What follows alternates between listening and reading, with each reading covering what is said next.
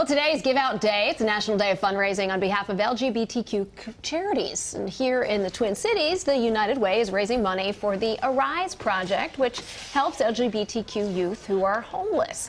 And our own Mike Augustyniak is one of the givenators for Give Out Day. I'm really, this is such a great um, cause and great charity. This is my sixth year doing this.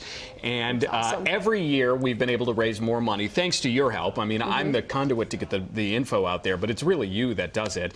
Uh, every night in Minnesota, there are 4,700 just kids, not people total, but 4,700 kids that are homeless. And when you think about that and what you were going through when you were in high school, right. it's homework, hormones, uh, after school activities, just keeping all that stuff together yeah. is hard enough. But then to think about where you're going right. to sleep at night. And surprisingly, a, a large percentage of these children that are homeless are LGBTQ. So that's the tie-in for Give Out Day, which right. is this National Day of, of Giving. 40% of those 4,700 kids that are homeless identify as LGBT or Q, and that in many cases is because sadly they were kicked out of their home when they came out, or they didn't feel safe enough to stay in their home. So uh, I have some trivia questions here All to right. kind of right. highlight the need. Would you guys mind We're ready? Course, playing along?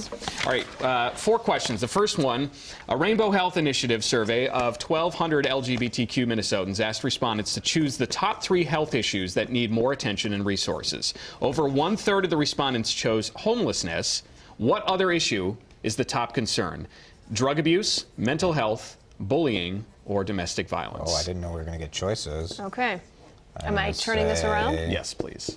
I'm going to say bullying. And I was going to say hunger until I heard the choices. Okay. I'm going to say mental health. It is, in fact, mental health. Oh, yeah. Uh, uh, when you talk about being gay, that's often a stigma in some communities, but sure. maybe a bigger stigma is talking about mental health issues. Yeah. And so that's something that we all need to address for everybody, mm -hmm. really. All right, number two, within the U.S., which region ranks lowest in LGBTQ phila uh, philanthropic giving?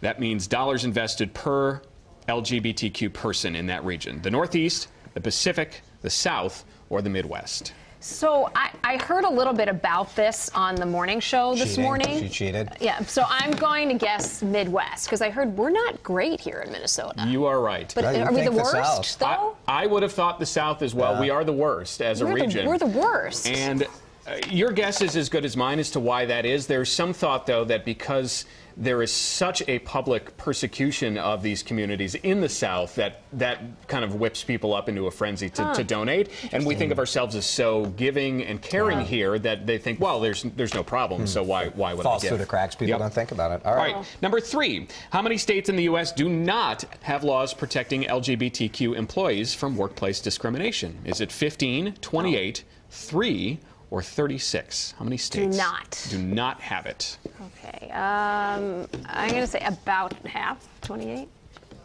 Heather wins. Heather. Woo! That's good. That's better than I would have yeah, thought, but still good. not good. A lot of, lot of work to go. So yeah. if you want to give uh, today, we have it set up pretty easily for you. If you just go to wcco.com slash links, you can make a donation uh, to me or really to anybody in this uh, mm -hmm. region for Give Out Day. All of the money that's raised today for us, for the, for the Greater Twin Cities United Way Arise project, stays here in Minnesota, so you're helping neighbors. Very nice. Heather, three for three. I was 0 for three. Well, what?